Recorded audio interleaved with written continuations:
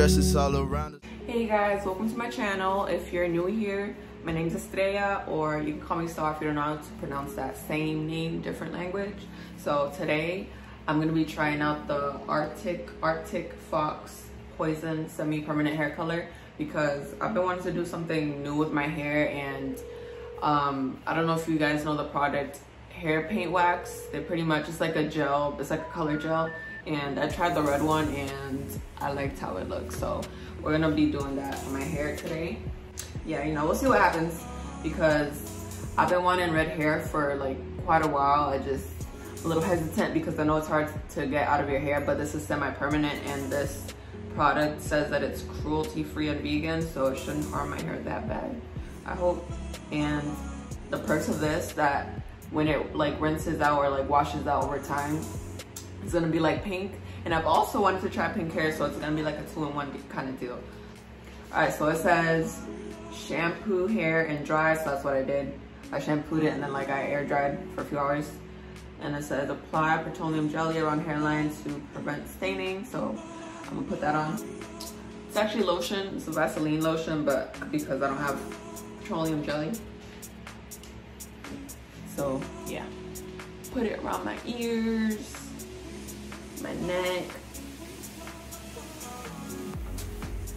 All right, so now it says wear protective gloves, apply cover evenly color, color evenly, working in small sections and leave in for at least 30 minutes. Okay. So what I'm gonna do is part my hair into sections. Actually, yeah, so I'm gonna do I'm part in like fours.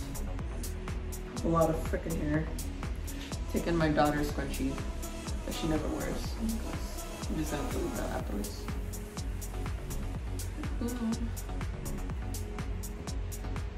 Mm. Start. scared of getting this on the floor. It's a lot of cleaning to do. I already know it's gonna stain the shower. Alright, start with the bottom. It really does smell like Jolly Ranchers.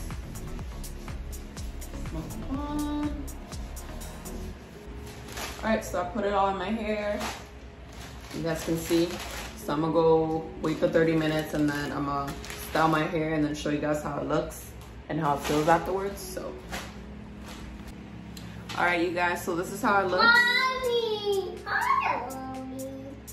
Don't mind my daughter in the background. She's not gonna leave me alone this whole entire night. So. If you're curious on how I do my hair routine, I have actually have a video up that I did last month. So go watch that, please.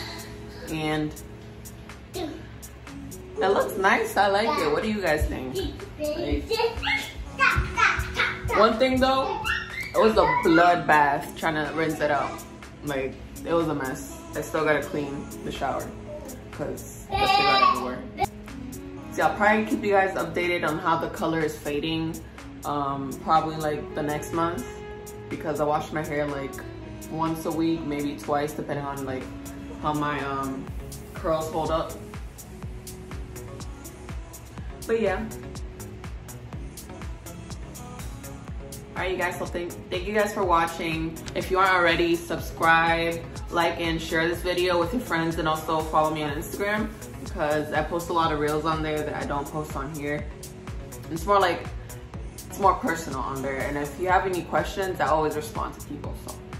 All right so here's the hair in some natural sunlight. It's very bright. No i can't wait to see how it looks like when it's faded you know, my, my curls are still intact, so didn't do much damage. Did feel weird uh, rinsing it out at first and not to use a lot of conditioner. But yeah, thanks for watching.